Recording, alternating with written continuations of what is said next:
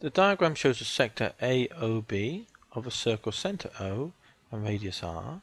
Angle AOB is 72 degrees. Express 72 degrees exactly in radians, simplifying your answer. The area of the sector AOB is 45 pi centimeters squared. Find the value of R. Find the area of the segment bounded by the arc AB and the chord AB, giving your answer correct to three significant figures. So here's the question then. So let's do the first part. Express this exactly, 72 in radians. Well, fraction of a circle, the fraction 72 is 72 of 360 degrees.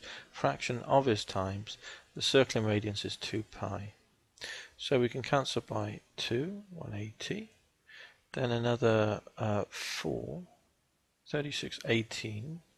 And cancel that by 4, 90 and 45. There's a, a 9 common. That's two nines. And that's 5. So it's equal to 2 pi over 5. So that's that. The area AOB is 45 pi centimeters squared. Find R. So the area is equal to 45 pi centimeters squared is equal to. Now the area of a whole circle is pi r squared. As a fraction of 2 pi it's 2, it could be written like this couldn't it? That's still pi r squared. So that tells us that's for a whole circle. So that's a reminder then for the angle, if we've got an arc angle theta part of a circle, then it's just going to be a half r squared theta. So this is a half r squared times theta, which is 2 pi over 5. So we just wrote this thing down just to remember the formula if we need to, just as a memory aid. So here's the formula then, half r squared theta. Pi's cancel. Uh, the 5 can move up. The 2's will cancel. And here you've got 9 fives times another 5. So that tells us that r squared equals 45 times 5 is 225. Uh, 225. And so square root of both sides r is equal to 15 centimeters. r is positive. So we just take the positive solution. So there's r then for part 2. Part 3, find the area of the segment bounded by the arc AB and the chord AB. So we've got the area is 45 pi. So let's just draw this then. The total area, I'll use the diagram here, is equal to 45 pi centimeters squared.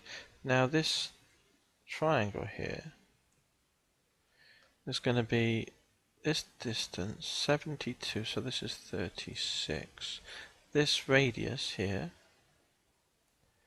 um, the radius is 15 centimeters okay so um, right so we've got 15 we've got 36 angle this is 90 so we can work out these sides can't we half base times height. This is 15, this distance here is 15 sine 36, isn't it? And this distance here is 15 cosine 36 degrees. So area, area 2 then, this is area 1. Just move this down slightly. Um, area 2 would be half base, which is this.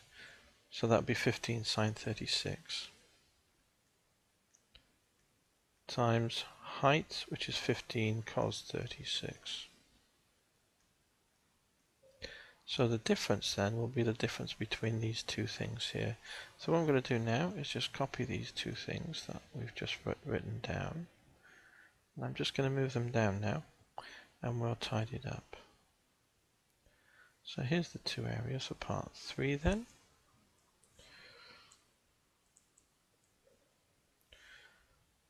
Um,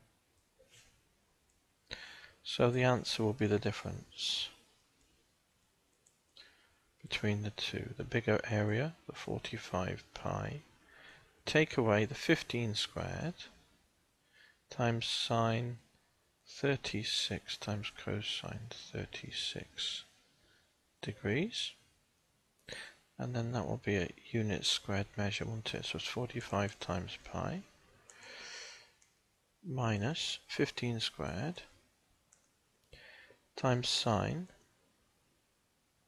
of 36 times cosine of 36 degrees. And we're in degrees mode so we press equals and we get 34.377 the three significant figures is 34.4 34.4 centimeters squared